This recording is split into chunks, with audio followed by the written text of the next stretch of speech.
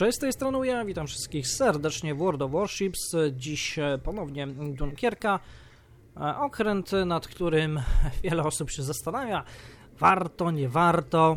To do wyboru e, jest Warspite, mamy Arizonę, mamy Texas, prawda, no tier niżej, ale też, mm, też niezły pancernik. No moi drodzy, no od, od przybytku ponoć głowa nie boli a może jednak boli. E, cóż, na pewno e, za Dunkierką przemawiają e, takie rzeczy jak ciekawe rozmieszczenie tutaj baterii głównych i w związku z tym dosyć interesujący styl gry, co dla niektórych może tutaj mm, przemówić za tym okrętem. Kolejna sprawa, no, francuskich okrętów na razie nie ma, na razie, ale jak się pojawią, to wasz kapitan już będzie wyekspiony tak jak trzeba.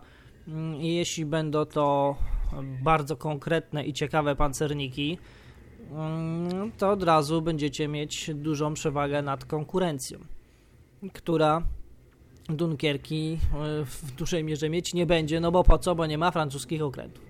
Więc no, to jest oczywiście myślenie na daleką przyszłość, więc taki mamy tutaj plan strategiczny ustawiony na lata, bo wiadomo, w tym roku jeszcze mm, Brytyjczycy dołączą, więc zanim Francuzi, nie wiadomo czy będą jako następna nacja, jako które drzewka, ile przed nimi, no taka pieśń przyszłości.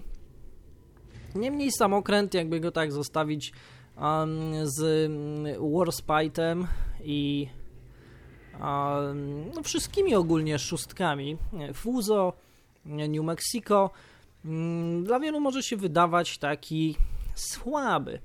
Nie bójmy się tego słowa. Ani jakoś nie ma mm, olbrzymiej ilości e, hit pointsów, ani największej ilości dział, ani najlepszych cytadel i tak dalej, i tak dalej. Ma za to niezły czas przeładowania. E, ten pancerz, jeśli jesteśmy właściwie ustawieni, jest naprawdę niczego sobie. Mm, jest w stanie przyjmować e, no, dosyć potężne dosyć potężny ostrzał i jakoś, jakoś sobie daje radę. Mm, spotkałem się tutaj też z takimi zarzutami, no, że można go spalić. No kurczę, którego pancernika nie można, no, takie gadanie. Mm, jeśli macie y, tutaj zainwestowane w e, literkę R i T y, rozbudowane za golda, czy też za większą ilość kredytów, dacie sobie spokojnie radę. E, wszystko też zależy, jak będziecie się pozycjonować. Czy tutaj każdy będzie w was łupał, jak będzie chciał, mm, czy będziecie mm, raz troszkę na drugiej linii, raz na pierwszej. Ogólnie ten okręt nieźle się spisuje na pierwszej linii. E, no ja go testowałem wtedy, kiedy mm, wszyscy chcieli mnie zatopić. Bardzo często ogień był skoncentrowany tylko i wyłącznie na mnie i ten okręt sobie radził. Poza tym pamiętajcie też o tym, że ogień, zalania można naprawić literką T bez większych problemów, więc wszystko to, co stracicie, to sobie odzyskacie, mm, jeśli, jeśli oczywiście Was nie rozmontują w międzyczasie na, na części pierwsze. To nie ma żadnego problemu. Dla mnie największym problemem każdego pancernika są lotniskowce, są niszczyciele i tutaj bardziej bym się skupiał na tym, jak sobie ten okręt będzie z nimi radził. Pamiętajcie o jednej rzeczy, to jest szóstka, mm, szóstka premium, więc maksymalnie gramy na ósemki, e, tragedii nie ma, często też e, mm, będziemy grali na jakieś piąteczki, takie mięciutkie kaczusie naprzeciwko nas, dzięki temu ten okręt, jak go rzuca na topce, to oczywiście mm, gniecie, jak, jak każdy pancernik, którego rzuci na topce, e, a tym okrętem mamy e, głównie zarabiać. No ja nim powyżej 80 tysięcy dosyć często robiłem, więc e, obrażenia są dosyć konkretne. Tutaj czas przeładowania jest też bardzo ładny, mm, a co za tym idzie, będziemy w stanie więcej okrętów e, zatopić dzięki temu, że szybko sobie tutaj przeładowujemy. Mm, jeśli podpłyną do nas jakieś maluszki, i będziemy uciekać, to tutaj ta mm, dodatkowa mm, artyleria pomocnicza też nie jest słaba. Porównując go oczywiście, chociaż się nie powinno, bo to, to są zupełnie inne okręty, inne tiery, do Scharhorsta, tam chyba dwa takie pytania miałem, ten, ten pancernik czy ten. No tutaj jest oczywiście, no, nie, nie można ich porównać, bo, bo niby jak. Nie te tiery, nie to opancerzenie, e, tamten ma jeszcze torpedy. Mm, porównać można jedynie e, jak się nimi będzie grało, czyli łatwo, trudno. I tu też nie do końca jest taka prosta sprawa, bo właśnie Dunkierka może mieć naprawdę miłe losowania i będzie Wam się grało bardzo przyjemnie, mm, a Scharhorst, jak będziecie bardzo dobrzy na nim, szybko Was sprowadzi tutaj do, do, do średniej krajowej, mm, po prostu rzucając na dziewiątki, jak jakiś lotniskowiec będzie chciał się Wami zająć, zaopiekować, przytulić, no to będziecie szybko zwiedzać rafę koralową od, od spodu. No, nie ma opcji. E, tutaj Scharhorst nie będzie mieć, e, choćbyście mu wymaksowali ją na, na fulla, tak dobrej obrony przeciwlotniczej, żeby sobie mm, poradzić z, z lotniskowcami, ósemkami, dziewiątkami. Będą po prostu dla niego olbrzymim zagrożeniem. Mm, e, I to jest fakt, który już sprawdzają wszyscy jego mm, posiadacze.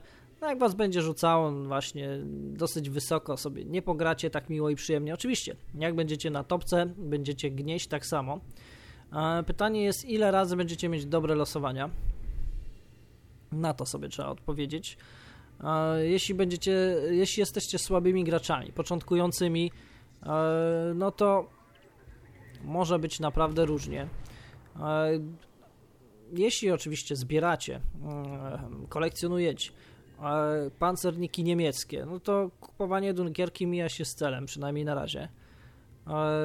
No bo po co? Nie ma, nie ma tych okrętów, będą za jakiś czas, zanim będą, to jeszcze sobie ją możecie kupić, bo raczej nie zniknie. E, a na Szarhorście sobie od razu szkolicie e, załogę dla pancernika. E, tak jak mówię, wszystko zależy od Waszych predyspozycji, który też okręt Wam się mm, bardziej podoba. Bo oba nie są, nie, są, nie są tragiczne, tak jak niektórzy mówią, nie są jakieś też mega OP. Jeśli musicie się nauczyć nimi grać po prostu, no jak będziecie dobrze grali mm, tymi okrętami, no to będziecie maszynkami do mielenia po prostu wszystkich krążowników. Nie, że pamiętajcie o jednym, no teraz era krążowników jest w odwrocie. Teraz jest era pancerników i zarówno Dunkierka, chociaż Dunkierka lepiej sobie radzi z pancernikami, przynajmniej na dystansie średnim e, i dalekim niż, e, niż Scharhorst, który musi podpłynąć bliżej, żeby coś zrobić, ewentualnie użyć torped. Więc jeśli nie, nie umiecie grać agresywnie, mm, no to będziecie narzekać na, na Scharhorsta tak jak mówię, tu jest masę takich jeśli, ale i tak dalej. Więc tyle ile ludzi, tyle będzie opinii i jedni będą mówili, że gra się łatwo i przyjemnie, drudzy, że nie da rady tym grać. No niestety, tak to jest. Musi, musi wam podpasić okręt, e, styl gry. Mm, mi na przykład i Dunkierka i Scharhorst e, bardzo się, bardzo się podobały.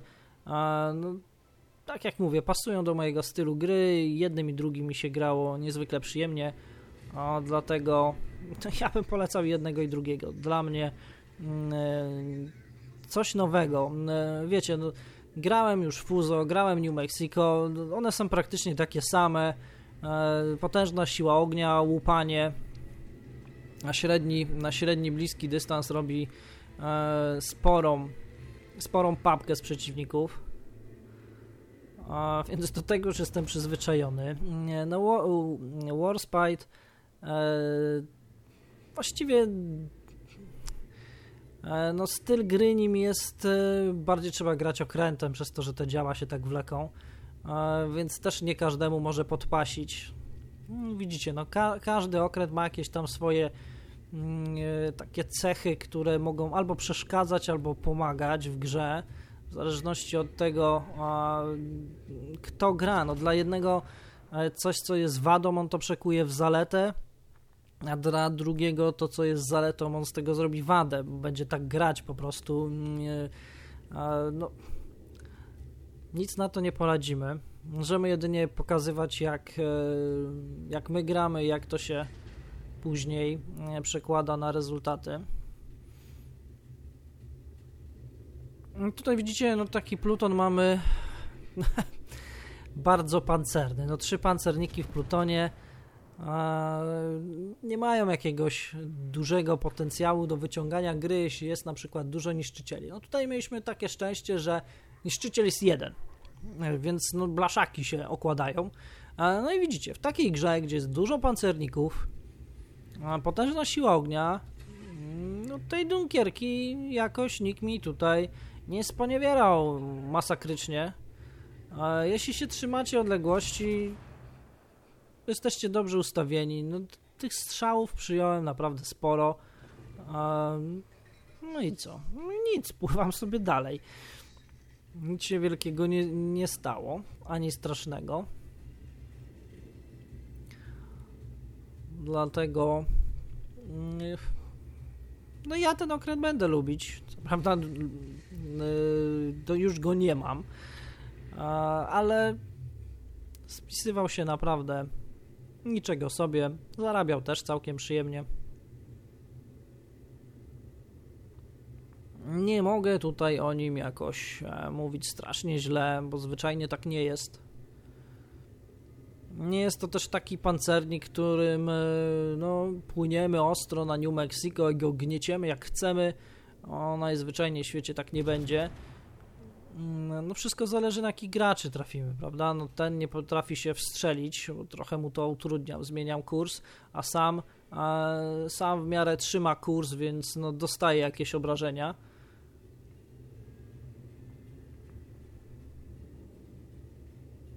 Wiecie, no wszystko, wszystko zależy też od waszych przeciwników, na jakich będziecie trafiać. Od uprzejmości matchmakera. Pamiętajcie też e, o jednej rzeczy. E, dobrze jest mieć Pluton. Jeśli macie Pluton, jeszcze taki, który, no zobaczcie na przykład tutaj, no New Mexico, no on mi nic, a ja go zatopiłem tam z tych kilkunastu tysięcy. No i ktoś by tak popatrzy tutaj tą sytuację, nie no, okręt gniecie, no, New Mexico sobie rozwala jak chce, zobaczcie ile dingów w ogóle, no masakryczny tutaj, no masakryczny pancernik, no. Mm, tutaj oczywiście ja starałem się masę pocisków uniknąć. No jak nic we mnie nie trafia, to ciężko, żeby jakieś efekty były, e, a przeciwnik no, płynął słabo. Był to jakiś słabszy gracz albo miał chwilowo mm, słabszy dzień. No, więc wszystko zależy też jak się bitwy układają. W każdym razie, wracając do Plutonu. Jeśli będziecie tutaj w Plutonie z niszczycielem i, i lotniskowcem. Niszczyciel będzie Wam tutaj ładnie przed Wami pływać, skanować torpedy, skanować inne niszczyciele przy pomocy jeszcze lotniskowca, który w razie potrzeby zapewni Wam obronę przeciwlotniczą. To powiem Wam w sekrecie, że będzie Wam się grać wyśmienicie każdym pancernikiem z taką e, osłoną E, jaką Wam tutaj koledzy zapewnią. Mm, to jest tak naprawdę e, sekret tego, żeby dobrze grać na pancerniku. Mieć dobry, dobre okręty, które Wam pomogą mm, i sprawią, że będziecie mogli sobie w spokoju siać zniszczenie, takie jak ja tutaj.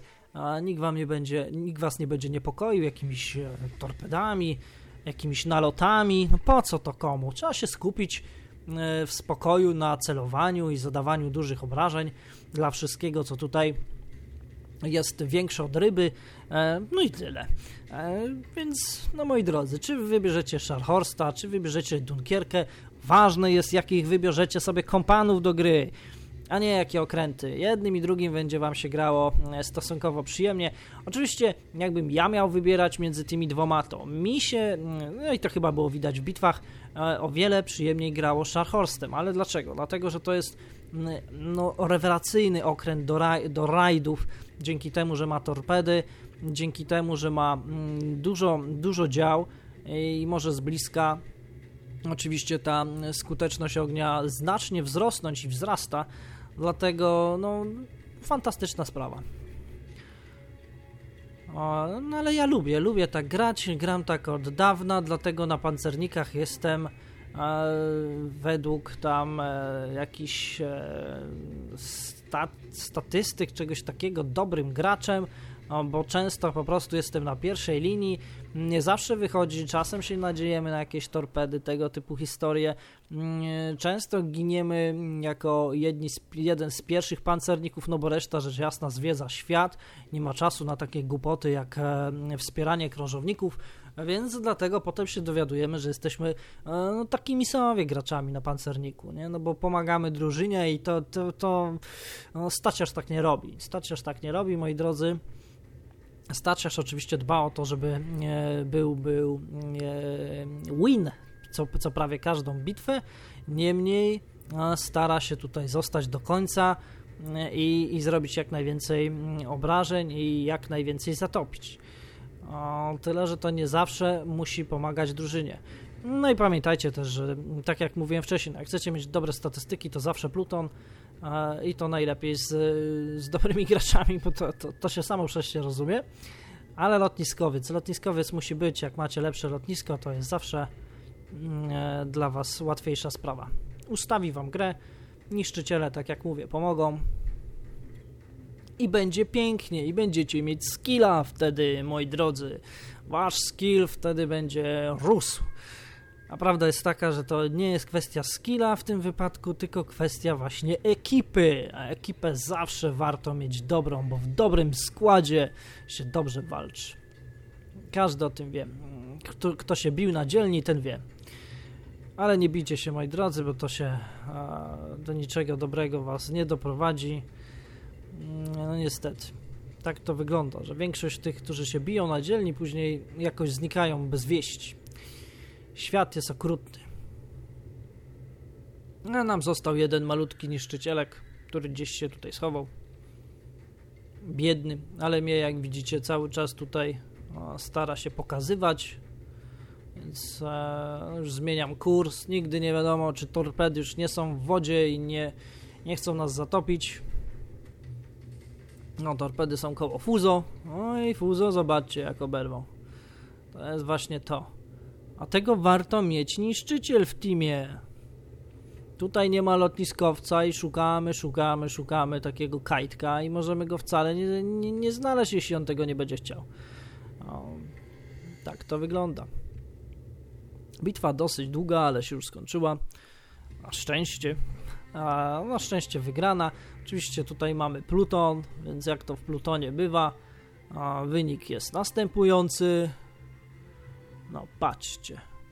Wszystkie plutony na, na, na czele stawki. Jak to się stało? Dobra, lecimy dalej. Druga bitwa Dunkierką. Tak jak mówię, teraz przegrana, żeby była trochę równowagi. I płyniemy. Mm, tutaj widzicie, no testy miałem przeprowadzone jeszcze w normalnych warunkach no widzicie, e, pancerniki 3, dużo krążowników, 3 niszczyciele, optymalnie. E, no tutaj jeszcze, żeby to było takie idealne, e, to jeden krążownik powinno się wyrzucić, dać jeden lotniskowiec i takie bitwy to jest idealny matchmaking. Panie, żeby najczęściej taki był. Ja nie mam nic przeciwko lotniskowcom, mm, to jest okręt jak każdy inny, pełni tutaj niezwykle ważną funkcję w grze i potrafi skopać e, tutaj e, no, każdy praktycznie e, okręt, czy, czy niszczyciela, czy krążownika, czy pancernika. Mm, oczywiście są pojedyncze mm, pojedyncze okręty, które ustawione na obronę przeciwlotniczą nie dadzą sobie oklepać pupci, więc można od czasu do czasu też pomyśleć nad za, no, zainwestowaniem w, w obronę przeciwlotniczą, chociaż jeśli lotniskowców dalej będzie mało, to e, niekoniecznie jest to najlepszym pomysłem. No ale jak już mamy taki okręt nastawiony właśnie na potężną obronę przeciwlotniczą, to przynajmniej jesteśmy w miarę spokojni, że już na, na raz, na jeden nalot nas e, nie zatopi. Mm, ale bywa też tak, że są dwa lotniskowce i wtedy już ich wpływ na bitwę jest naprawdę olbrzymi. Dobrze, że wprowadzono tutaj mm, ten mechanizm w matchmakerze, że już na tych e, wyższych tierach jest tylko jeden lotniskowiec, bo on i tak potrafi wyciągnąć grę bez większego problemu. Jeśli oczywiście przeciwnik mu na to pozwoli. To wiecie, żeby nie było, no lotniskowce też mają swoje problemy, wystarczy nimi pograć. A wymagają podzielnej uwagi, no to, to jest inna gra zupełnie, absolutnie. No to tu, tutaj bardziej taka gra strategiczno-taktyczna jest na lotniskowcu niż, niż takie jak tutaj zręcznościowe zabawy. E, no ale oczywiście no, przed lotniskowcem można się bronić, e, jeśli tutaj sobie e, będziemy płynąć blisko siebie i sprzężymy nasze obrony przeciwlotnicze w jedną wspólną, to wtedy samoloty nie mają większych szans. Tyle, że pamiętajcie, mm, jest no teraz trochę dostały buffa niektóre krążowniki, ale jest masa krążowników, które mają słabą obronę przeciwlotniczą, których gracze w ogóle nie inwestują w tą obronę przeciwlotniczą. I taki lotniskowiec też je sobie zatopi e, bez większego problemu. Tutaj jakieś e, wizyta kurtuazyjna chyba mm, e, gniew, gniewnego, no strasznie się na kogoś tam pogniewał na tej wyspie i zrobili desant na wyspę. Ale Atlanta lubi, lubi takie prezenty. O, jak tam się gościu ucieszył pewnie w tej Atlancie. Taki, taki kwiatek. No tutaj pamiętajcie, no na początku bitwy nie płynie się przez ten przesmyk. Błagam was ludzie, opamiętajcie się, bo to jest żenujące po prostu oglądać coś takiego. Nieważne czy w moim teamie, czy w przeciwnim. No, fatalna sprawa. Mm, tutaj oczywiście nasz, lotnis nasz lotnisko, nasz niszczyciel, no widzicie, klikam, świetny spot, Tutaj e, ta wyspa sprawia, że nic nie widzi, to jest genialne. Zobaczcie, tylko wystawił nosek, od razu już coś widać. Ale lepiej siedzieć za wyspą. Wiadomo, samoloty mogą atakować, a nie, nie ma samolotów. Nie wiem, co mu mogło krzywdę zrobić. Wystraszył się chyba sam siebie. No jak macie już jakiś niszczyciel, no zróbcie chociaż takiego prowizorycznego spota. No możecie się trzymać metr przede mną, jak jesteście tchórzami, ale no bądźcie na przodzie eskadry, błagam was. Wykorzystajcie to, że jesteście mm, malutcy, macie dym, w razie czego jak macie cykorię, to jak tylko wykryto, informacja się pojawi, od razu dusicie dymek i znikacie cichutko. Nie bójcie się, naprawdę, nie bójcie się. Przez was strach team dostaje baty. A tak to wygląda. No tutaj dwa krążowniki już tam zatopili. A, dlaczego? A, no z prostej przyczyny wyszły ostro same, żadnego pancernika tam nie było. E, no, nasze pancerniki idą tak, jakby chciały, a nie mogły. A ja sam tutaj przez e, no, część gry tak dosyć spokojnie płynąłem. Żeby nie było, że jakoś tutaj strasznie pre do przodu. No ale już, już było widać w tym momencie, że no z takimi dwoma pancernikami, a zobaczcie, no ich pancerniki coś robią, prawda? No te, ten, ten już zaczyna dawać ciała, no, niewątpliwie. A powinien iść dalej z formacją.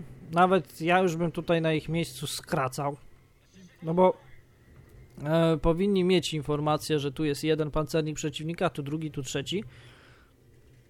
To nie ma całej siły ognia, jest po drugiej stronie. Czego się boją? Niszczycieli?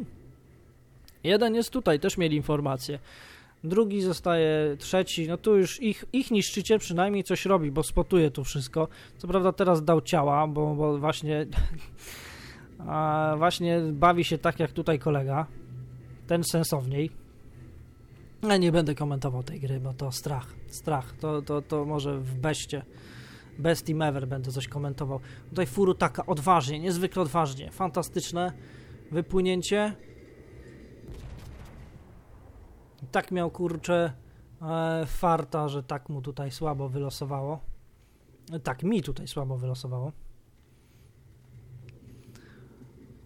No ale co zrobić? No takie rajdy, mm, takie rajdy na pancernik owszem, owszem, mogą się udać, ale jakby tutaj tego wielkoluda nie było. Jakby tak mi ostro tu wypłynął, skrócił, dostałby za 5000, potem by mi odpalił torpedy, zrobił nawrót, odpalił drugie, takie coś to rozumiem. Takie coś to by ładne, ładne było.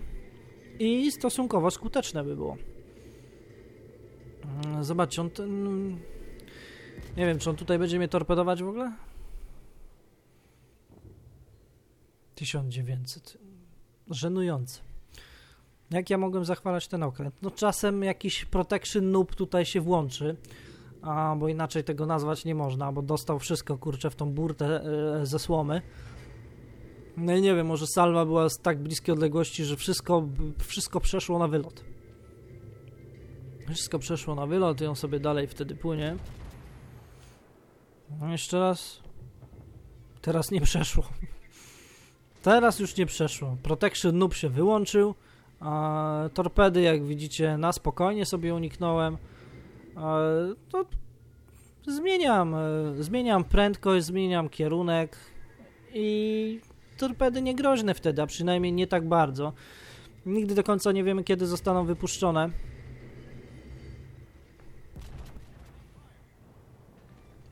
No i ten pan już nas nie będzie niepokoić. E, no tutaj cze, czemu tak, a nie inaczej zagrałem? No widzę że, widzę, że team dostaje. Stwierdziłem, że musimy to skapować albo przegramy. Takie wnioski. Więc e, staram się zrobić to, co mówiłem. To jeszcze optymalnie by było pogonić tego pana, tego pana rozstrzelać, aby tutaj nas nie denerwował. No mają świetne działa, więc e, nie jest miło, jak tutaj będę ich używać zbyt, e, zbyt często. Jeszcze mi się tutaj New Mexico pojawił, ale przynajmniej tamtą Pensacola odstrzeliłem, to będzie cicho siedzieć.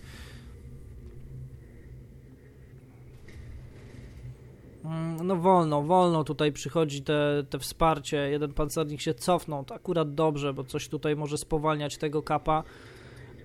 No ten, ten odcinek oczywiście, mimo że przegrana, no nie, nie nadaje się absolutnie tutaj do, do best team ever, bo ten team nie był zły. Tutaj część osób bardzo ładnie grała, starała się. E, więc no nie, nie jest tak, że dostaliśmy takie bęcki, że masakra. No teraz jestem tutaj w ciężkiej sytuacji, bo New Mexico to nie jest słaby okręt, a jest calutki i zdrowiutki. Ja jestem na połowie, w dodatku Pensacola bardzo chętnie będzie mnie tutaj podpalać, więc e, no wziąłem sobie na cel zmiękczenie go, po to, żeby ten pancernik i dwa krążowniki, które są tutaj mm, ze mną mogły go dobić. No cóż. Zobaczycie, jak mi to tutaj wyjdzie. Każdym razie, moi drodzy, Dunkiereczka dosyć przyjemna.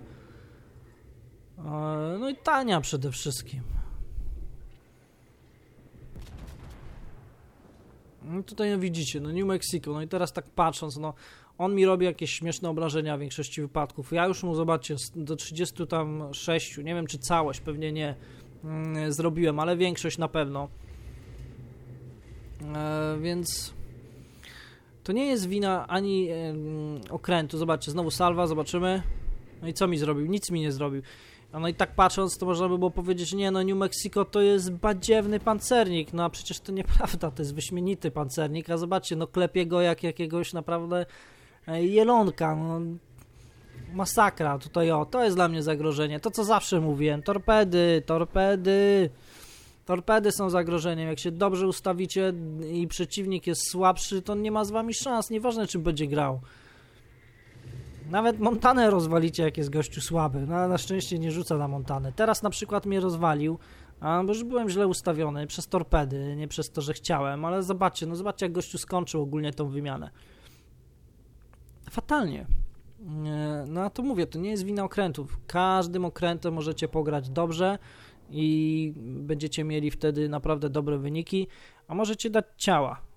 A możecie dać ciała nawet na najlepszym i będziecie mówili, że no okręt fatalny. Nie okręt, tylko wy. No oczywiście są niektóre jednostki, które są wybitnie trudne do gry, słabe i takimi, takimi ciężko jest coś ugrać. Niemniej na pewno to nie jest ani Dunkierka, ani broń Boże Scharhorst. To są dwa całkiem, e, całkiem dobre okręty, którymi można grać właśnie mm, naprawdę mm, efektownie, miło i przyjemnie. Dlatego ja tam oba mm, dalej polecam. Dla wszystkich tych, którzy lubią agresywniejszą grę, naprawdę będziecie, będziecie zadowoleni. Dla wszystkich tych, którzy lubią kampę, dajcie sobie spokój. To nie są okręty wtedy dla Was. Te pancerniki faktycznie wtedy będą słabe. Zarówno Dunkierka, jak i Scharhorst e, tutaj w grze na, na tej linii, gdzie przeciwnik jest tu, a wy strzelacie stąd, z maksymalnego zasięgu do, do wszystkiego. Dajcie sobie spokój. Nie bierzcie tych okrętów, weźcie sobie fuzo i, i z niego sobie strzelajcie na tam 20 parę kilometrów i cieszcie się, jak jedna pestka wam wejdzie na 30 strzałów. Wtedy jest sukces. To tyle, moi drodzy. Wielkie dzięki za oglądanie. Trzymajcie się. Udanej gry. Hej!